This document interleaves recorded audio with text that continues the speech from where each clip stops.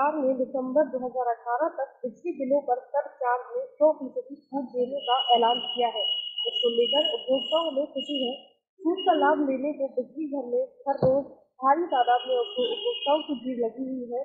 पार्टियों की प्रवक्ता जयवीर सिंह ने इसे किसानों के हित में बताया और किसानों से अनुरोध किया कि ज़्यादा से ज़्यादा किसान जिनके पास बिजली का बिल बकाया है, वह इस छूट का लाभ लें।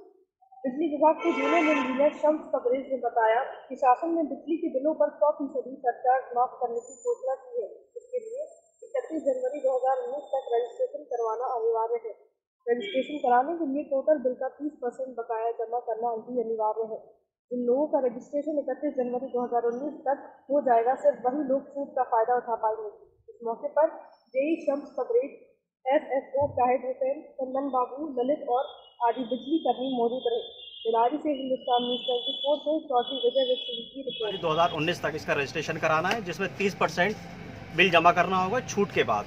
और जो बकिया पैसा है वो मार्च इकतीस तक इकतीस उन्नीस दो हज़ार उन्नीस तक बाकी जमा करना पड़ेगा। जिसमें अभी तक रजिस्ट्रेशन हमारे यहाँ काफ़ी हो चुके हैं और बाकी लोग रजिस्ट्रेशन करा रहे हैं। जनता के पब्लिक के बीच में जाके कॉमन सेंटर तो अपने सेंटर में बना रहे हैं। मगर नगर पालिका ने इस सोच के साथ कि कॉमन सेंटर पर भी हर आदमी नहीं पहुँच पा रहा। तो एक सार्वजनिक स्थल है सीनादारी महोत्सव नीचे होता है, वहाँ पर शानदारी सांस्कृतिक मंच है, जहाँ पर आम आदमी आ सकता है। गरीब तबका जो रियल में उसका पात्र है तो वहाँ पर एक सार्वजनिक तौर पर एक कार्यक्रम किया गया। है थोड़ी सी अभी लोगों को में भी उसको लेके क्या क्या उसमें डाटा चाहिए, इसको लेकर भ्रांतियाँ है। और थोड़ा सा अभी कॉमन सेंटर वाले को भी इसकी जानकारी नहीं है, मगर आज पहला दिन है और धीरे धीरे सारी व्यवस्थाएँ ठीक हो जाएँगी और अधिक से अधिक लोगों को उसका लाभ मिले।